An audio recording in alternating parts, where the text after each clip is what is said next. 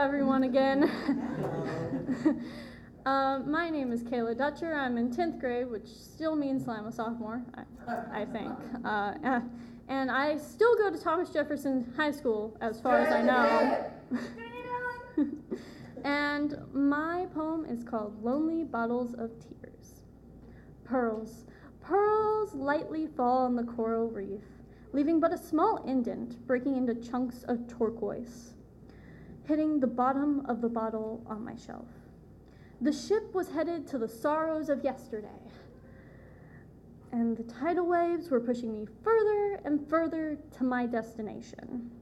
I feared that place, leaving hope for another day, and nothing was here to stay.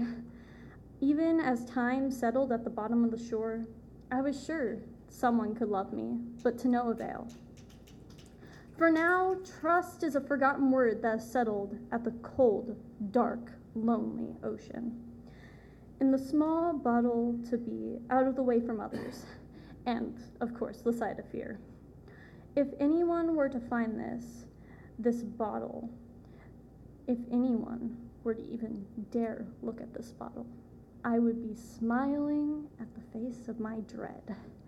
It would turn my endless voids of meaningless time for that person, they they would be the end of time itself.